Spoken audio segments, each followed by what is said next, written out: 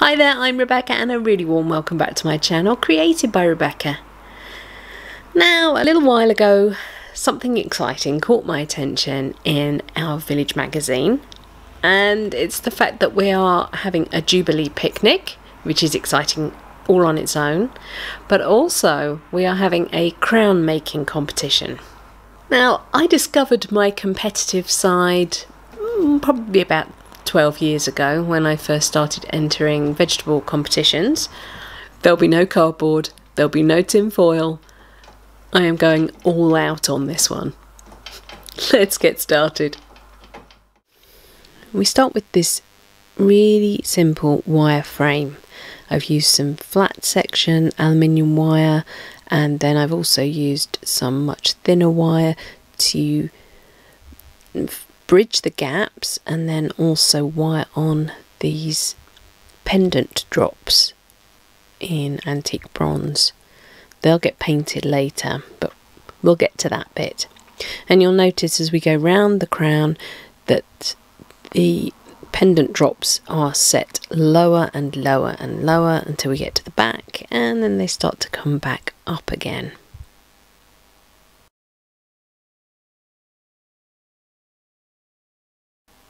I made a paper template and marked out the positions of each of those pendants so that they will form the peaks of the crown.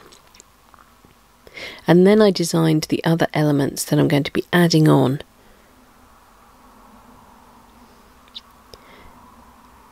I've put some Sculpey Primo Ecru coloured clay. Could be any colour because we're going to paint the whole thing through my pasta machine so that it's nice and conditioned, nice and flexible, and is in a really lovely even sheet. I've used the thickest setting on my pasta machine.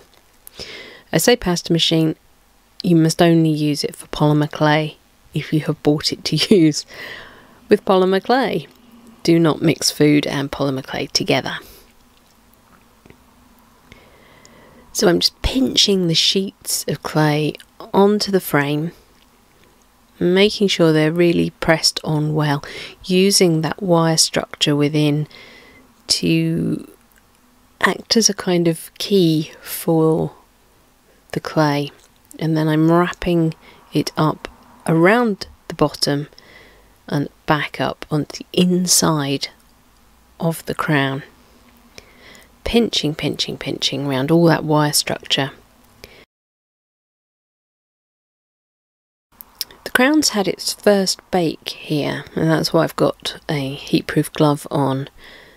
Uh, and I'm now adding some extra clay.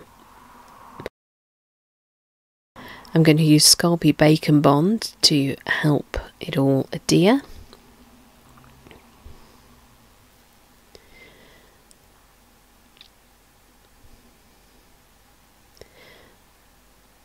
And I'm applying that to the baked clay, spreading it out, and then applying some more raw clay on top.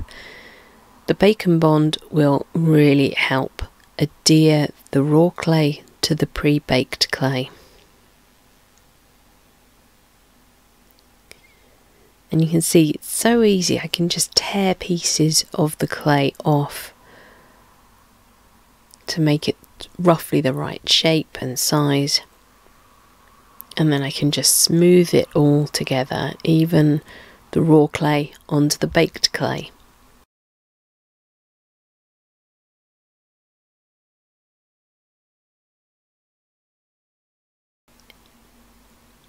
I'm building up some clay around the peaks and that's to help hold them firm.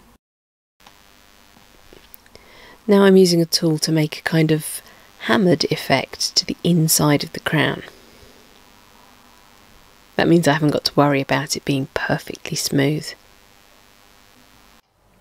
So here's the basic shape of my crown. All the peaks are much more solid. Now they have the support of the polymer clay. So we go back to the pattern that I made. You can see I've got this scallop design uh, I went ahead and made a cutout paper template for that on top of which I built this polymer clay version so it has a flat back. You can see I've added some little beads of clay here to give it some detail. Then I've also pressed in some little indents and this bit here is going to be fitting a faux gemstone. And these will sit in between each of the peaks top and bottom. But I don't want to have to cut all of these out make them all the same shape and size get them all looking exactly the same so I've got this two-part modelling compound which I'm going to make a mould from. I've got two blobs of the modelling compound, one of each colour, which I need to mix together until it's completely evenly distributed. until it's completely evenly distributed. And I want to make sure that this is going to make a big enough mould to fit this into nicely and have good enough walls that they're not going to distort when I push clay in.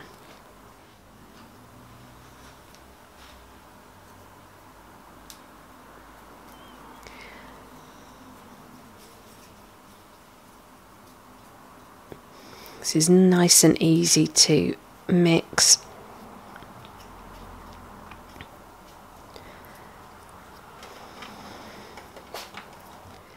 And by mixing the two, you're starting a chemical reaction. I'm just going to quickly shape this. I want it to be deep enough that this is going to sit into. I want it to be fairly flat across the top. It. Come with me. Come here. Get up. And I'm just going to press this little model into the mould. And when I'm happy, oh,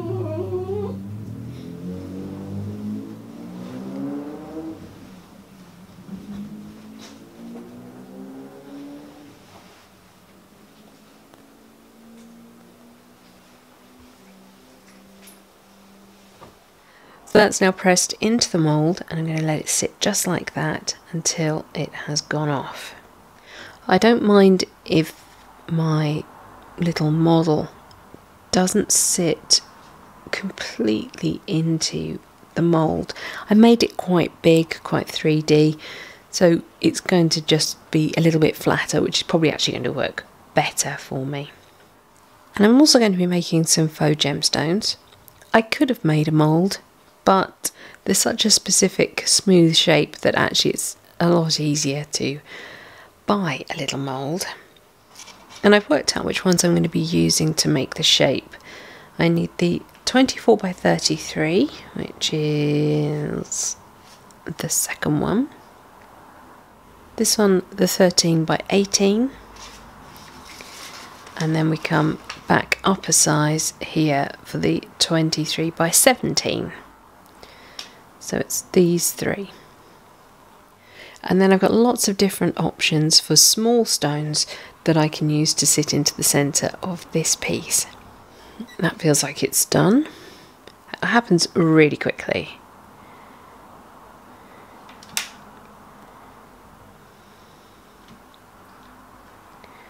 Okay, that's not bad.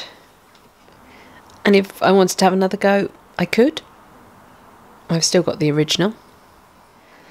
Now we're going to make some faux gemstones and I've been having a little play around with the Fimo, this is Ruby Quartz in the Effect range. It doesn't matter that we're mixing Fimo and Sculpey. I tend to bake at a lower temperature for longer with the Sculpey anyway. The Fimo is a little bit a little bit lower temperature. I like to do lots of shorter bakes so that I can firm up what I'm doing and then I don't distort things as I am building on them. And straight out of the packet we'll mix a bead that looks like this. It has some inclusions in it. There is a little bit of mica in it, so it does have a little bit of a shimmer. Rather nice. I'm trying to get a sort of ruby look. And rubies can have sort of translucent inclusions in them, and so I tried adding a little bit of translucent clay, and you do get a little bit more depth and interest. I'm not sure once these are, are on the crown and it's en masse whether that's going to make any difference at all. It might actually just end up looking a bit naff. I don't know. anyway, I then tried the same, so the ruby quartz, a bit of translucent, and adding some really fine glitter.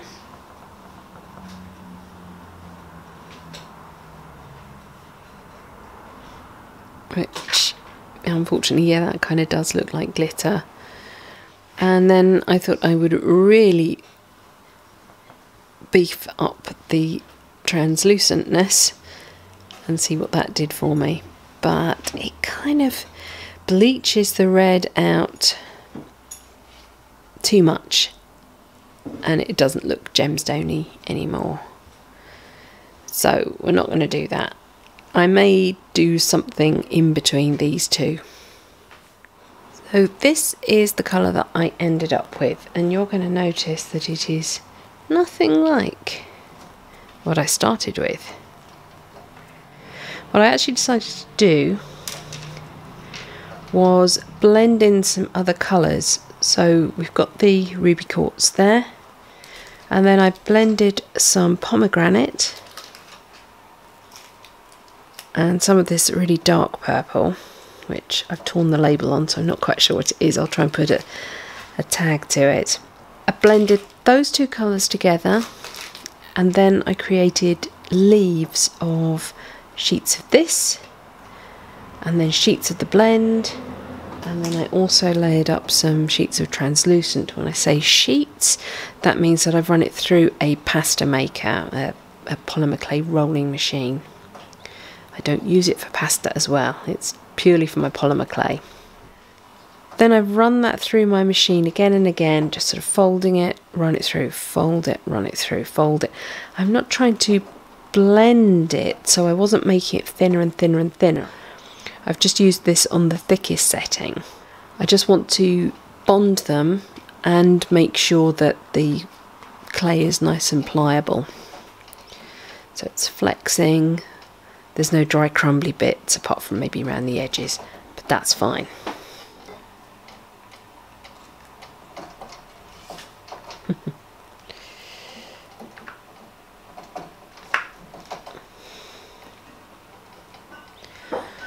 Some moulds have got um, things on the back, more structure to help you when you're filling them, but yeah, this was a very inexpensive one.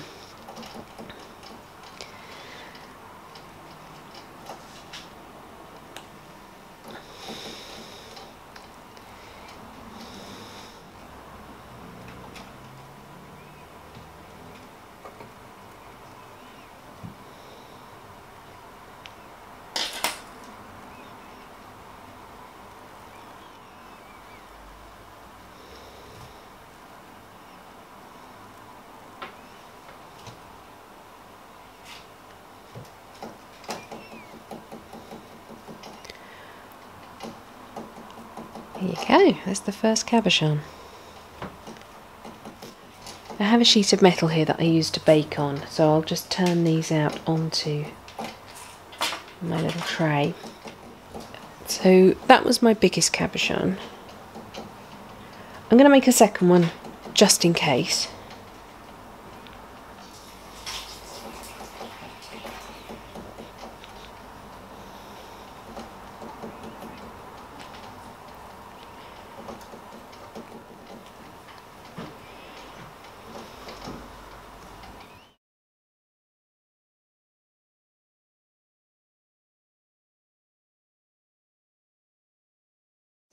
Because I am just turning them straight out of the silicone mould, I'm not getting any fingerprints on them.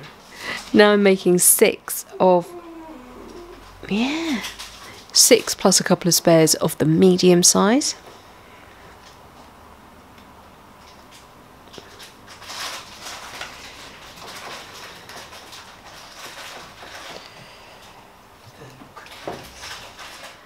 Okay, so that's all the cabochons done for the main settings in the crown. That's all these large central stations. Now we're going to try out the little mould that I made. So I've conditioned some polymer clay and I'm just going to carefully squish it into my mould.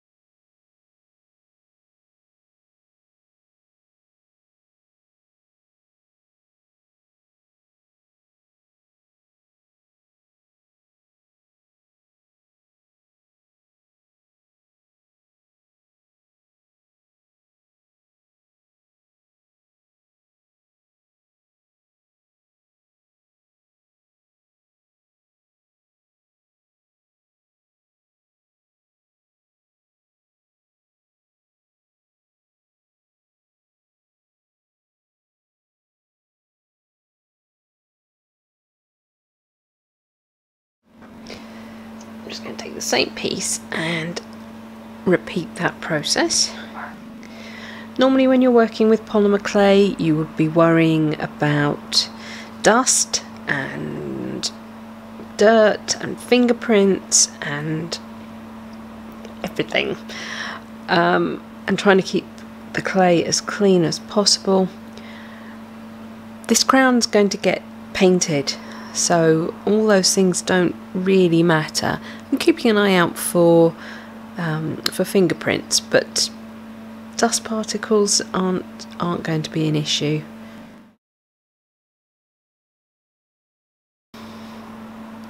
If your clay is really warm and it just doesn't want to come out without squishing, you can pop the mould into the fridge for about five minutes, be more than enough.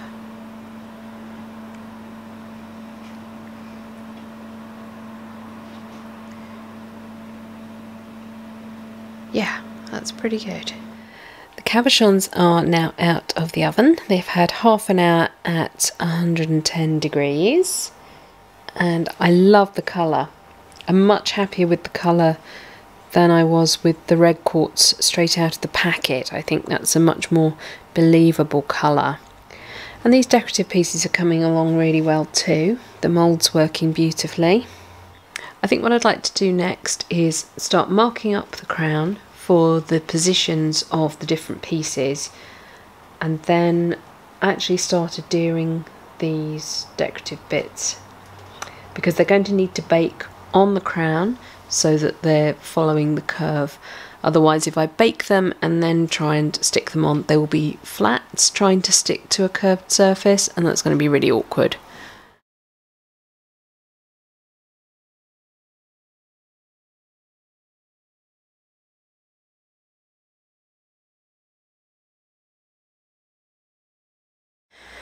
I've just grabbed some more polymer clay and I'm going to use my oval cutters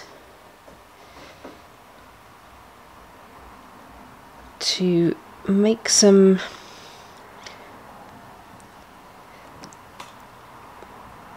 I guess decorative bits that the stones are going to sit on.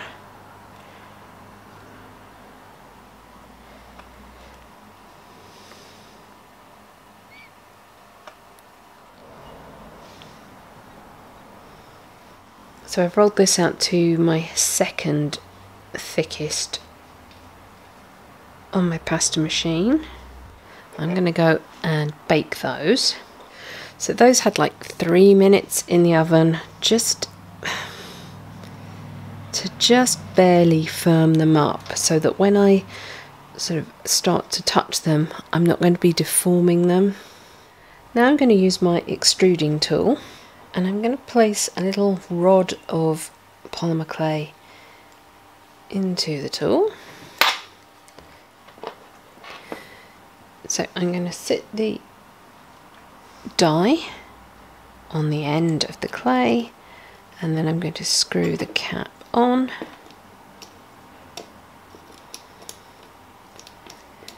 without getting it cross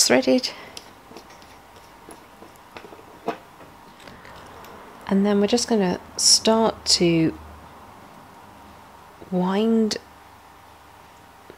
the screw back into the extruder start to feel some resistance and we may start to hear it squeak.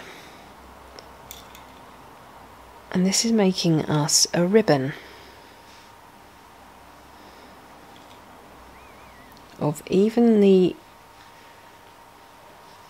thick, evenly wide clay.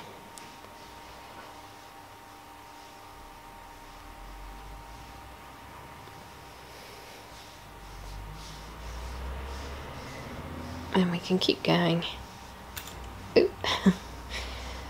Right to the end.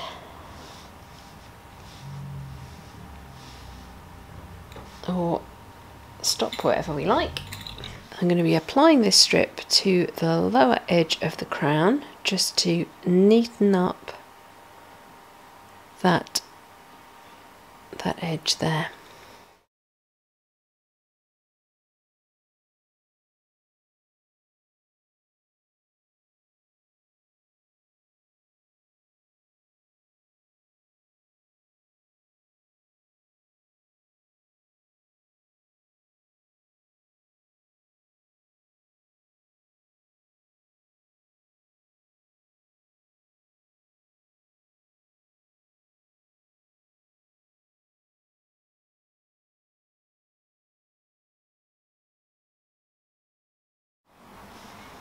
overlap the two ends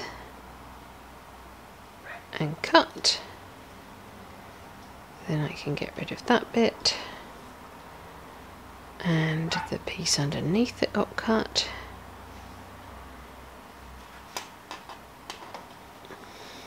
And they will line up perfectly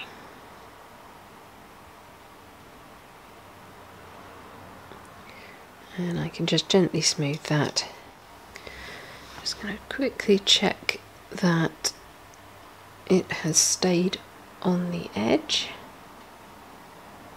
because that is after all the idea that it is disguising the edge. I also want it to create a flat that I can sit the decorative bits onto.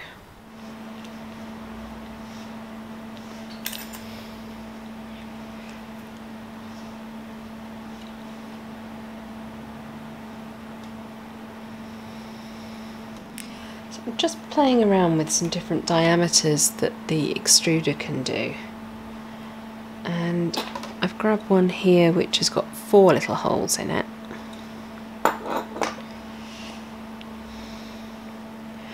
What I'm trying to make is a nice even little bezel for this to sit into. So I'm taking my piece of baked polymer clay, my faux gemstone, and I'm just applying some bake and bond onto the back. And I'm going to apply that to that little tablet of clay. And then run a little bead right the way round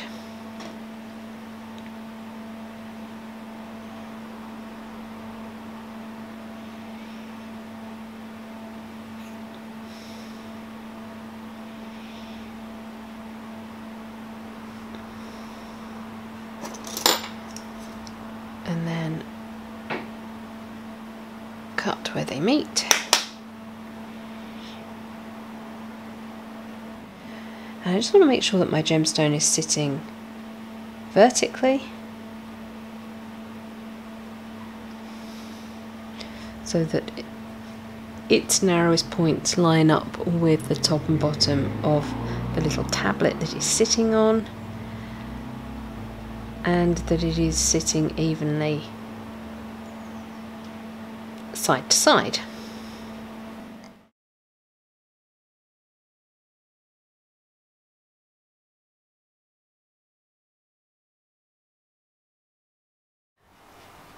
So there we go, that's our first jewel for our crown.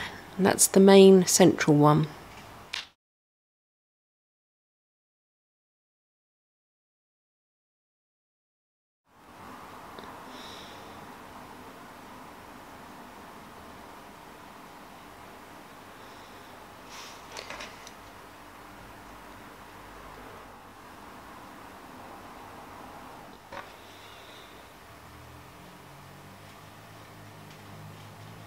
So don't be confused and think that this is a glue. It will only bond the pieces together once it is baked at the correct temperature. Plus, I mean, that's raw clay. and this isn't particularly baked. The only bit that's completely baked is the faux gemstone. So my crown is back out of the oven. My band has baked on. And I've just placed my first stone and I think what I'm going to have to do is place a couple, bake it a little bit, place the next couple, bake it a little bit,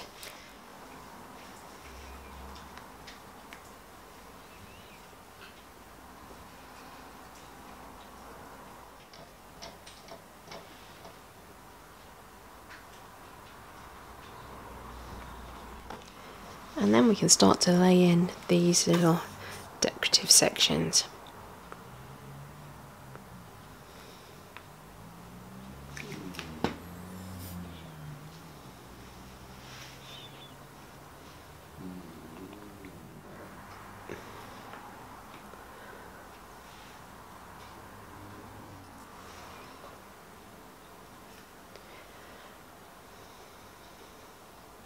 One of our family members had the family tree done, and my mother's side actually comes down through the Boleyn line. Uh, so I've always had a very soft spot for the Boleyns. I wanted to use a crown that hmm, represented that that connection. Records show that she was crowned wearing the St Edward crown, which is the, the current crown, but there's very good chance that it has significantly changed since she was crowned in it.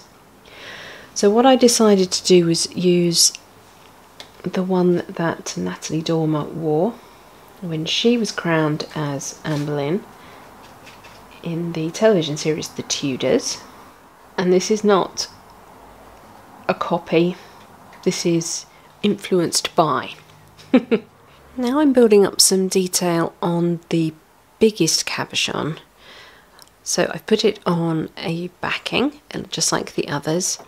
I've added a band of extruded clay, and then on top of that, I am just cutting little tiny circles from the same diameter extrusion and laying it along so it looks kind of like it's um, it's been set not with claws but uh, with a decorative bezel. Now I'm making some evenly sized balls of the ecru clay and I'm just using the bake and bond to stick them on. That's adding extra levels of detail it's disguising any bits that aren't quite so smooth and it's it's just adding richness to the crown. I've conditioned some Fimo Blue Ice effect clay. This is going to look a little bit like um, Blue Lace Agate, something like that. It's like a blue version of rose quartz. And then I've also got some mother of pearl effect Fimo as well. Now I've just got a little bit of scrap translucent clay, which I've extruded, and I've doubled it over. And now I'm going to twist it together. This is going to make a decorative edge to the top of the crown. And it's going to help disguise where those pendant pieces that make the peaks meet the polymer clay crown and I'm just making sure it's evenly twisted by supporting it with my fingers. If you just hold it at one end and keep twisting, it will over tighten in one area and be quite loose in other areas. Right, so I think that is now as much detail as I plan to put on in the polymer clay. It's all baked and now I'm going to go ahead and give it a base coat with a normal primer, just a household primer.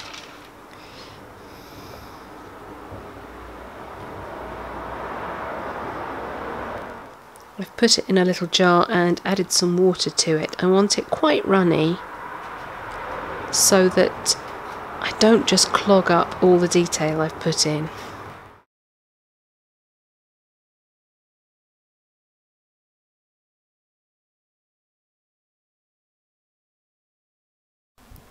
The primer is just going to give a key to the acrylic paint that I'm going to put on over the top. Here you can see I have used a gold acrylic on the inside of the band. It's this Liquitex Basics acrylic in gold.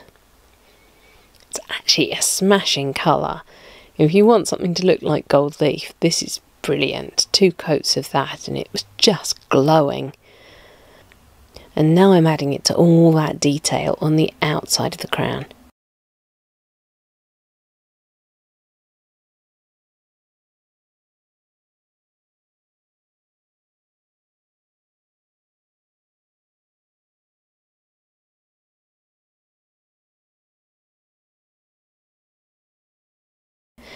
Look at that gold, that's two coats. It's really great, really opaque. And now you can see it looking significantly duller. That's because I'm antiquing it. So this is some watered down black acrylic and some burnt umber acrylic. And in some places it's a little bit more brown than in others, and others it's just black. And then I'm taking a wet brush and just running it over the top and making it dribble down into all those nooks and crannies that I've made with the detail. Then I can take a dry piece of kitchen towel and just rub it off the top surfaces so it stays in all the nooks and crannies, but you get a sort of a buffed look on the top surfaces.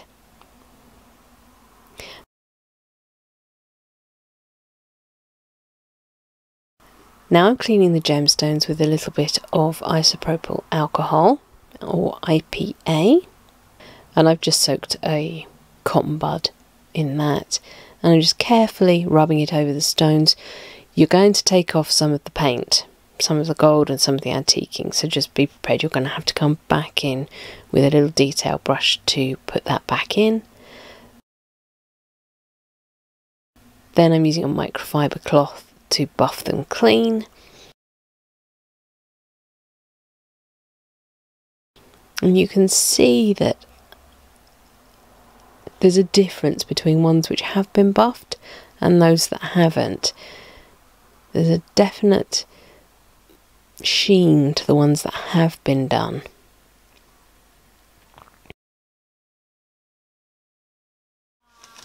Then I'm using some Winsor & Newton Galleria gloss varnish and I'm applying that just to the stones, just to those faux rubies and making sure there aren't any air bubbles.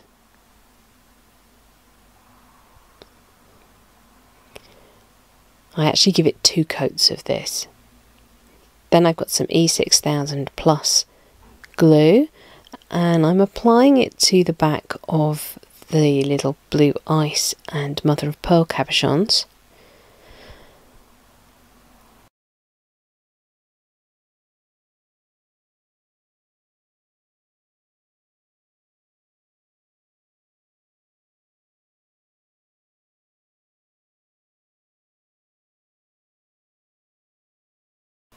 We're going to end up with four of the blue ice ones around that big central cabochon.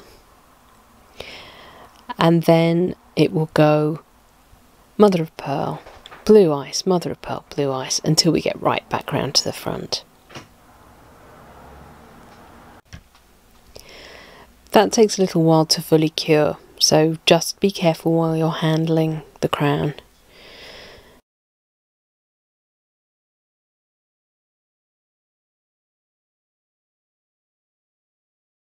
Now I've got some 0.4 millimeter gold plated copper wire and I'm putting it onto these are shell pearl.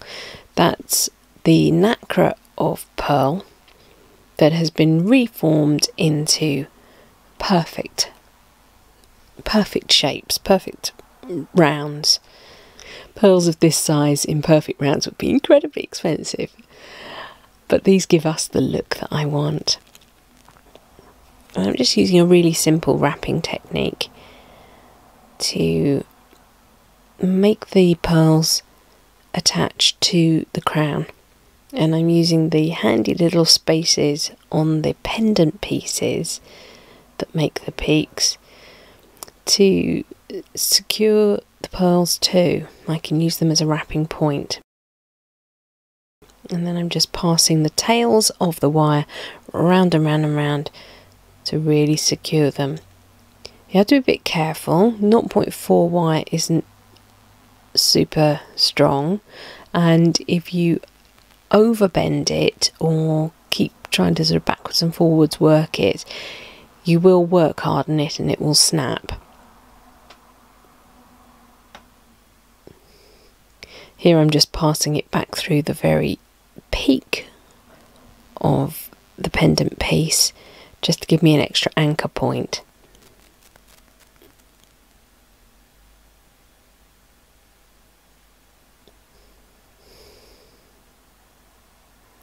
And then I'm just smoothing down the edges.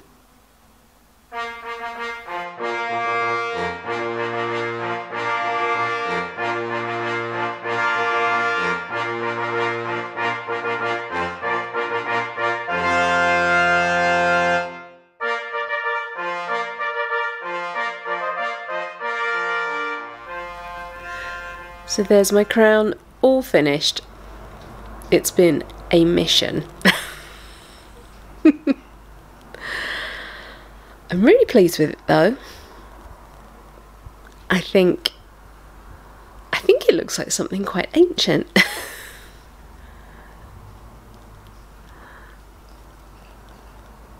yeah. The one thing I will have to do is definitely make a kind of comfort band that's going to help it sit up a little bit and take the pressure off my forehead. And then when I actually go to the parade, I'm going to have to have done my hair a bit bigger so that it kind of, yeah, looks a bit more dramatic and in keeping.